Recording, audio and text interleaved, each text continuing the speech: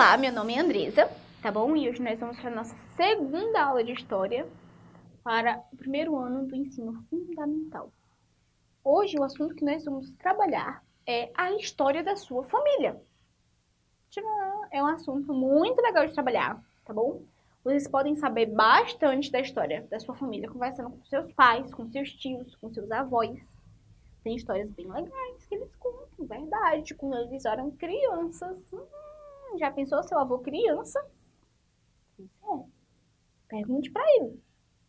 Ou pergunte para mim, pergunte para alguém. Tem muitas histórias. Enfim, para iniciar, nós temos um poeminha de Evelyn Heine, que foi quem escreveu esse poema, que é De Mal de Bem. A família é como uma árvore que nasce de uma semente. Ela cresce e se espalha pelo coração da gente. Os irmãos às vezes brigam.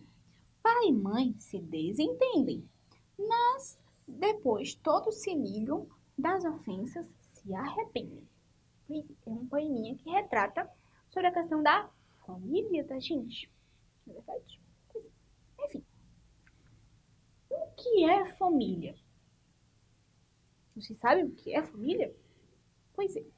Família é o conjunto de pessoas ligadas entre si por laços de parentesco ou laços de sentimento. Então, às vezes, nós nascemos do coração da pessoa e fazemos parte dessa família. Às vezes, nós nascemos da barriga da nossa mãe, na é verdade? E fazemos parte também da família. Então, o importante da família é o quê?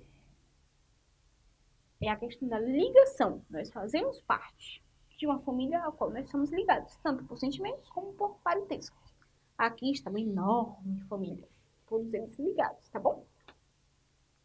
Então, a família, assim como nós, não são sempre iguais. Nós somos iguais? Nós não somos iguais, na é verdade? Nós temos cor dos olhos diferente, o cabelo diferente, o tom da pele diferente, muitas coisas diferentes, na é verdade? Então, nós somos diferentes. Então, assim é a família elas apresentam semelhanças e diferenças. E devemos respeitar essa diferença, pois o importante é o amor presente em cada uma. É o amor no coração que nos une. Vocês amam o pai de vocês, não é verdade? A mãe de vocês, não é verdade? Amam a pessoa que cuidam de vocês, que botam vocês para dormir, que alimentam a barriguinha de vocês. Isso é muito importante. Então, a questão toda da família, o segredo todo da família é a questão do amor, tá bom? Então, amem os papais de vocês, os avós de vocês, os tios de vocês, as pessoas que cercam vocês, que cuidam de vocês no dia a dia, tá bom? Porque eles amam vocês, assim também vocês devem amá-lo. E muito também, pois é. Então, há diversas famílias, na verdade. Aqui nós temos uma família. Pai, mãe e filhos. O pai, a mãe e os dois irmãozinhos. Aqui nós temos uma criancinha, a tia, que é a tia que cria. Pois é. A mamãe teve que viajar e tudo mais, e aí a tia ficou cuidando da criança. Então, aqui, ele nasceu do quê? Do coração da tia. Então, é ligado por laços sentimentais. E aqui nós temos uma família, a família que nós adotamos. Às vezes, tem muitas crianças, né? Que são adotados, que viram filhos do coração de alguém, que cuida, que ama muito, ama muito, ama muito, ama muito. Pois é. Então nós temos vários tipos de família, não é verdade? E nós temos também o orfanato, que aqui eles são uma grande família. Aqui nós temos crianças e pessoas de vários tipos, de várias cores, de todos os jeitos, que se amam e que vivem muito bem juntinhos. Então aqui nós temos uma grande família.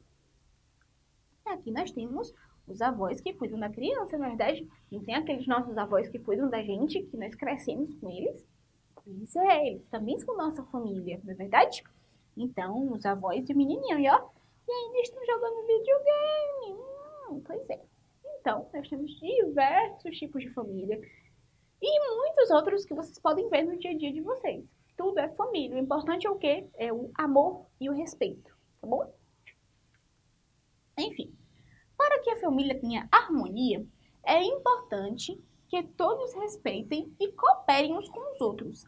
Na organização da casa, por exemplo, todos podem ajudar a arrumar a cama, guardar as roupas e sapatos nos locais certos.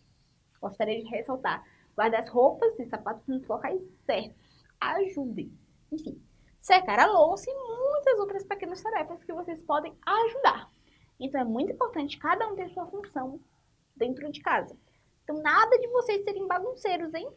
Ai, ai, ajudem dentro de casa. É tão simples arrumar a cama, né? Eu acho. Pois é. Então, muitas vezes, representamos nossa família por árvore genealógica, tá bom? Como é isso? Tem a árvorezinha. E tá vendo esses quadradinhos aqui, ó? É pra gente identificar o nosso pai, a nossa mãe, nosso irmão, nosso tio, nossa tia. E com isso, essa árvore conta a nossa história. Por exemplo, aqui nós temos tipo uma árvore genealógica. Os avós, tá bom? O papai e a mamãe, e o tio e a tia. Os filhos do tio e da tia são o quê? São seus primos, na é verdade? E o filho de seu papai e sua mamãe é você e seus irmãos, entendeu? Então, aqui está contando mais ou menos a história de quem? Dos avós de vocês. Faz parte da família genealógica, tá bom? Então, aqui o avô de vocês tiveram filhos. Então, é importante vocês conhecerem a história de vocês, a história da família de vocês, a história de todos os seus parentes. Por exemplo, tem gente que tem herança de alemães.